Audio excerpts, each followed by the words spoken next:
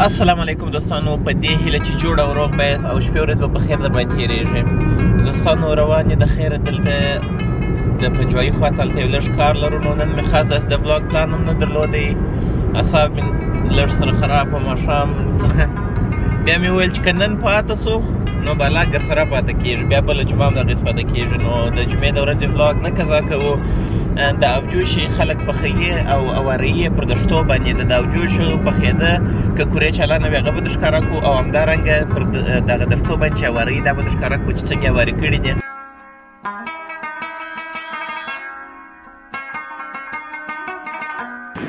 او جوش ته خو روانو خو په تیرو عکاسیانو کې مو تاسو ته زړې کشمشخانې در ښکاره کړلې دلته په لاره کې یو نوې کشمشخانه دغه نوې سیستم چې دی هغه هم ستا تاسو ته به هغه هم در ښکاره کړو سلام علیکم اجي صاحب ستړي مه سئ وبخښئ جوړ په خیر جوړ یاست په خیر سلام علیکم اجي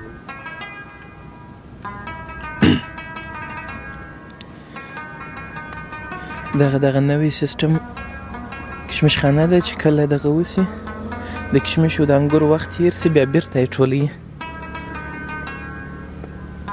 په لس ورځې کې وایي دغه انګور کشمش کیږي دغه اوس تازه یې زړولي دي لږ لږ کشمش کېدو ته نږدې دي ټوله د باڼو څخه جوړه ده د پنجوایي علاقه ده د پنجوایي سیمه ده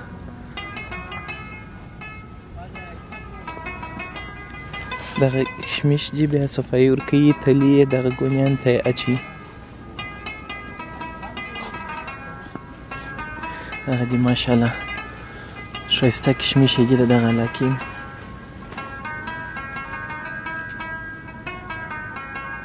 مننه حاجي صاحب کور ودان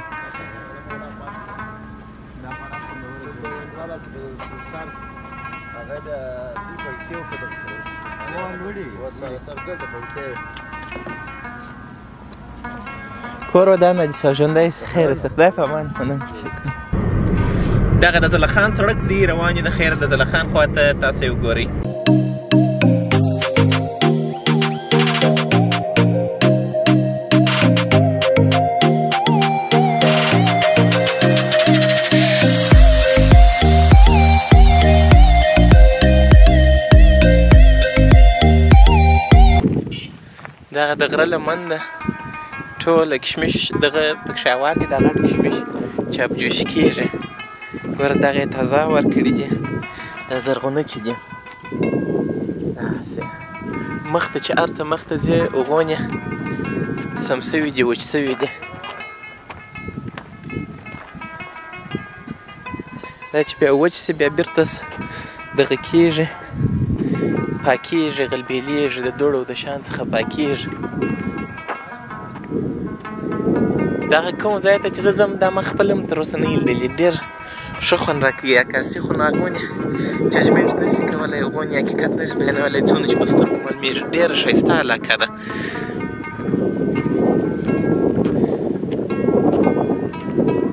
دغه د غره لمن ټوله دغه تر پایه پورې بالا دغه او جوش دي ګوره دغه بیا رسېدلي دي دا او جوشي ابجوش سوي دي نو نه پوهېږم چې په څو نمبر کې به دا ابجوش کېږي لاندې ټول شنه علاقه ده باغونه دي د انګورو دغه ځای څخه انګور راوړي دلته یې وریب بیا په کرو کې پخوي هغه به اوس د یو چا څخه پوښتنه وکړو چې دا څنګه دی دا پروسس یې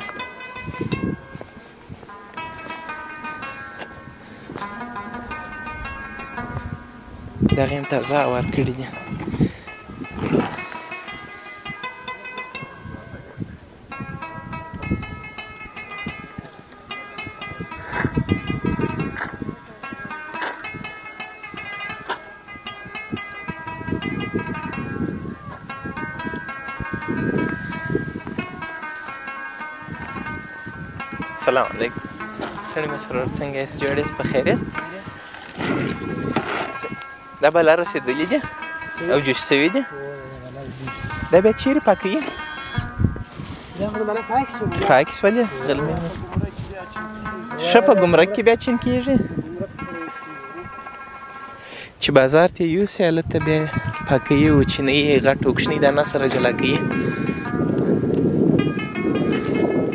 دا یې کچره ځنې ایستلې ده سړي مې سرور څنګه یې جوړ یې په خیر یې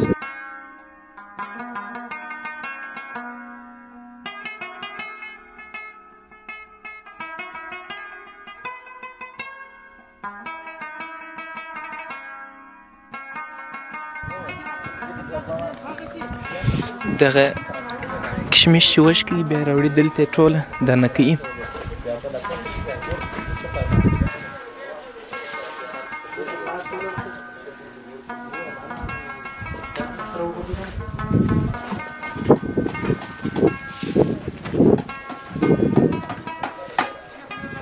دلته چې ګرده دانه کې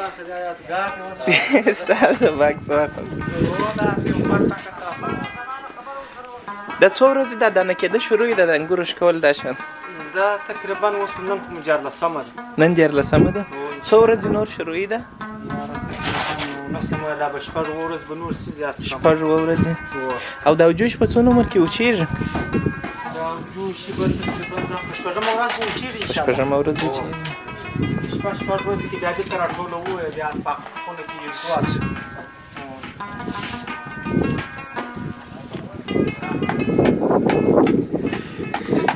دلته لاندې بیا کره ده چې دا وجوش یې پخې سي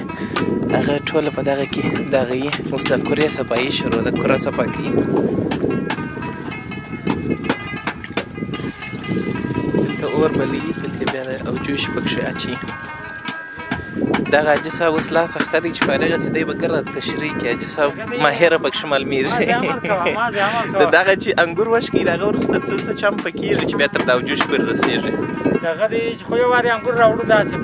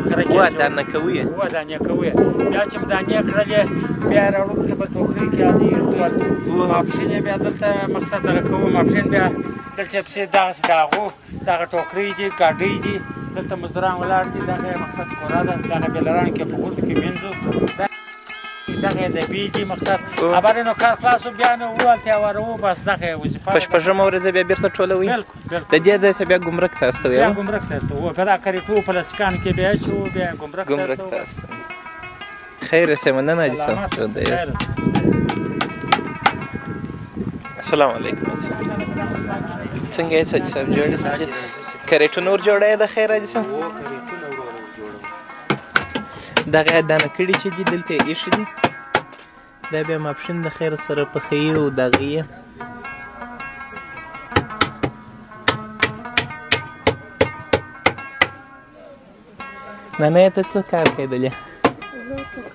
ټوکرۍ د سر نیسې دغه کره ده دلته لاندې اور پکښې بلي په دا ځای کې او دلته چې دی په دغه ځای کې بیا هغه کوچني سطلونه چې اوس ما هلته ښکاره کړل په هغې کې انګور اچوي اور اچوي یې پخوي یې چې کله یې پاخه کړل ښه انګور چې دي هغه هلته ځي اوارېږي د اوجوش لپاره او نور چې دي هغه د سرکې د اوسکو لپاره دلته اوارېږي خراب انګور هغه نه پخي دا د سرکې نه دی د وینیګر سرکه چې ورته وایي موږ ته د هغه لپاره کېږي او دغه چې دي دا کمزورې او جوشه ده لوړې چې دغه ښه او جوشې دي دغه ته بیا ټنډیل وایي خو نه ده مخکې چې مال په ټنډیل کې دا نه کول سلام علیکم اجازه ده ورور دغه وکړه که څه مشکل خو به نه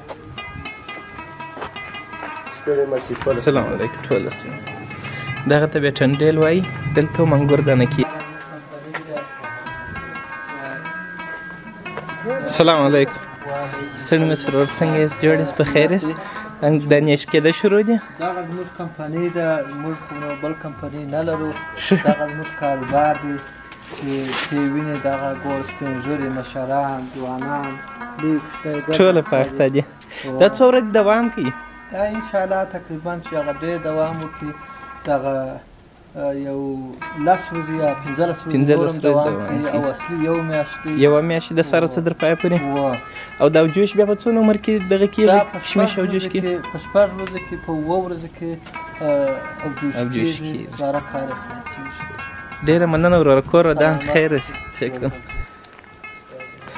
کور ودان ځینې خلک خوا به دی خو دوی خپل راته ویل وایي که مشکل نسته کاسې ښه ښه خلک سته خدای دې داسې خلک ډیر کې دغه د غره د بل طرف دی دې خوا ته هم ګرد میدانونه دي دغه اوس کې دي د سرکې لپاره دغه ټنډیلونه دي هغه کورې دي د اوجوشو لپاره سلام علیکم ستړي مشه ورور څنګه یې جوړې په خیر دا وسکی دی وروره دا سرکاچ څنګه جوړیږي عکاسي در څو کوم خو خو بد نه بدیږي و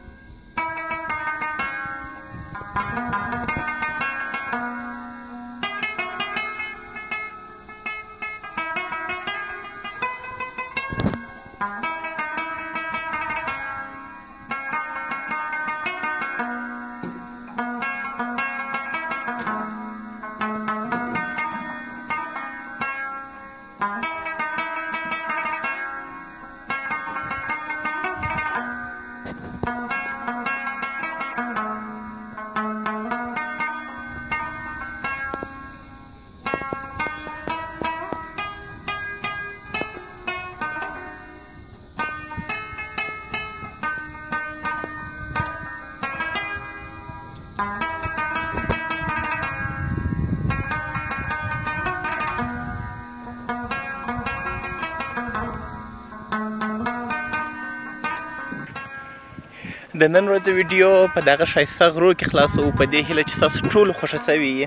تر بلې ویډیو پورې مو په خدای سپارم چینل حتما سبسکرایب کړئ د خدای په امان دوستانو ښایسته او جوشې دي